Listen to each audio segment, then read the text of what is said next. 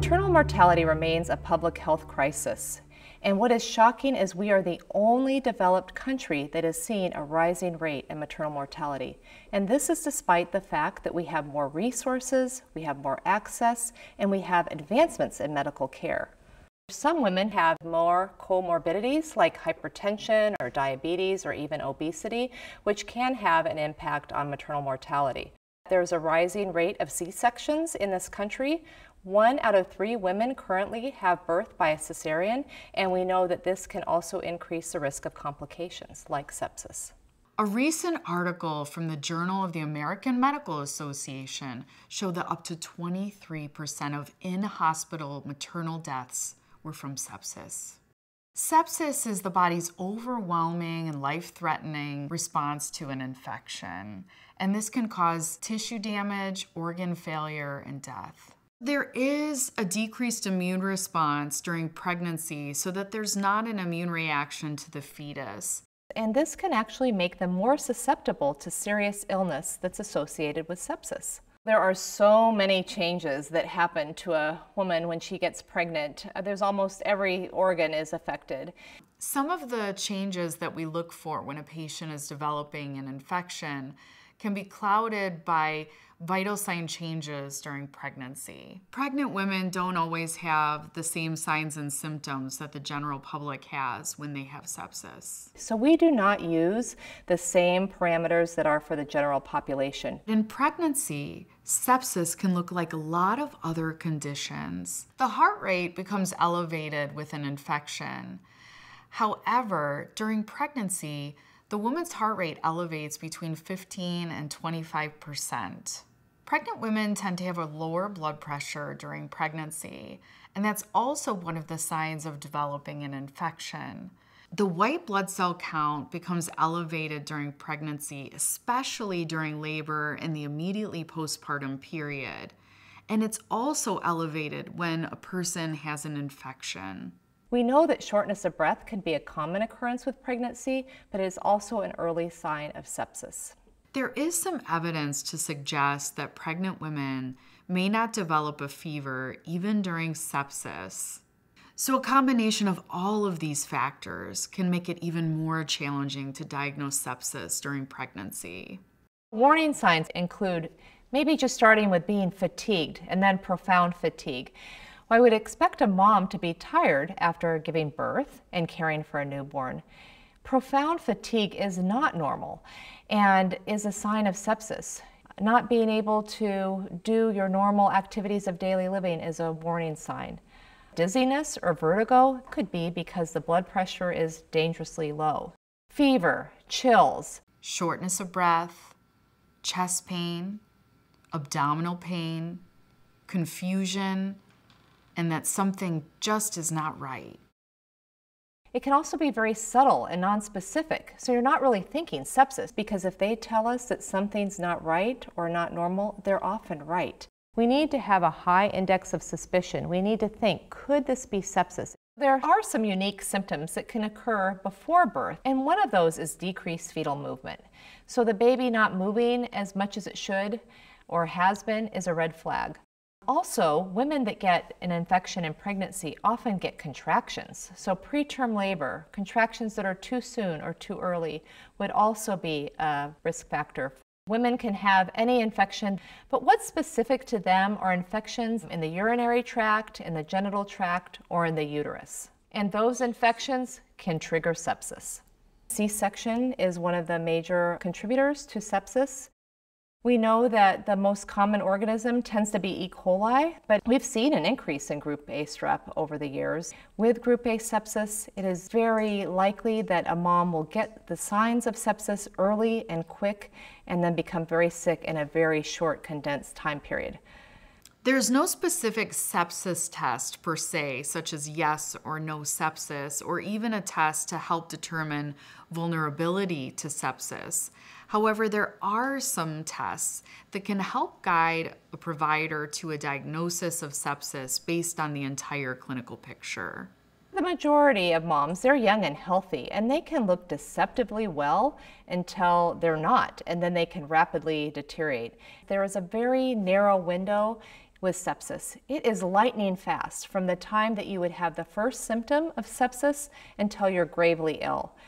It can be less than 24 hours. With some organisms, it can be a couple of hours. And in some cases, pregnant women can rapidly deteriorate and the results can be catastrophic. Sepsis is more severe when organs are affected, and this often presents as altered mental status. That could mean that the woman has some anxiety, some confusion. She's just not thinking right. Again, she could say, Oh, this is because I haven't gotten enough sleep. I'm tired. I'm fatigued.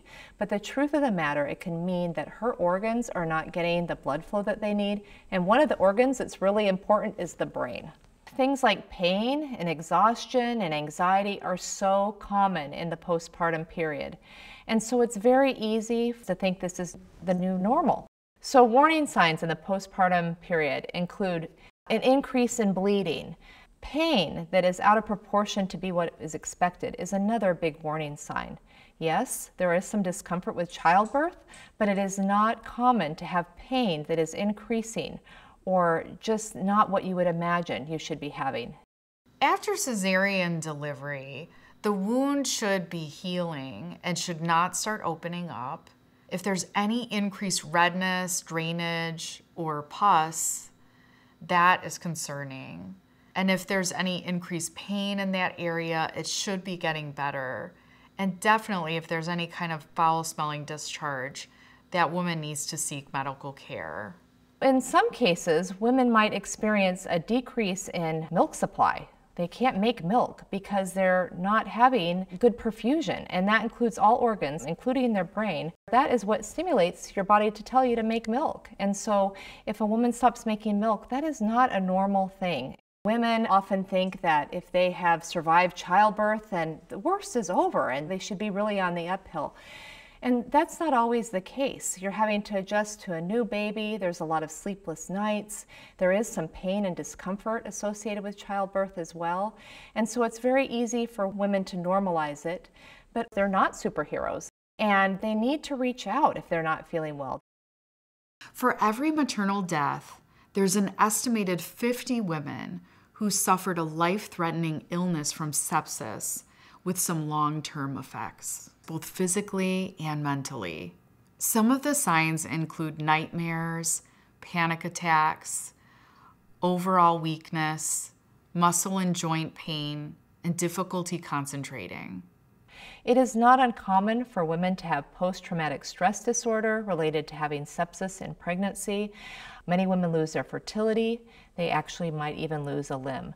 So there are significant consequences that women are left with even if they do survive sepsis. We don't typically think of our pregnant or newly delivered mom as a patient that's going to have sepsis. So we do have to have it on our radar and have a high level of suspicion. Even though the numbers are small, you know, the outcome can be very grave. It can be really hard to bring a newborn baby to the hospital or leave that newborn with someone else, and that can delay treatment. Even if a woman doesn't quite know how to explain what's wrong, she should feel empowered to seek care. In some cases, women really cannot advocate for themselves. And so we really rely on relatives or loved ones to speak up and advocate for them. They know the patient best. They know when something's not right. And in my experience, it is often the relative or loved one who is able to say that the patient needs to be seen and needs help. I think it's really important that we cast a wide net when we're talking about sepsis awareness. You know, medical professionals, yes, we need to know. Patients, they need to know during pregnancy what to expect. We need to be telling them on discharge what to expect when they leave the hospital. They need to know the signs of sepsis. We also need relatives and loved ones to know, the general public to know. Um, this will actually help prevent cases of sepsis because we know with early identification and treatment, we actually can make a difference. Although there are challenges in the recognition and treatment of maternal sepsis, there is hope. Looking at the research, there is a high percentage of preventability if we do early recognition and treatment.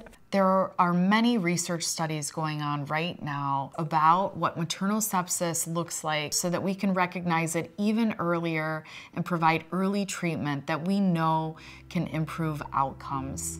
Maternal deaths are tragic. Each person is a mother, a daughter, a friend, a partner, we want to do everything we can do to help prevent maternal deaths from sepsis. Suspect sepsis, save lives.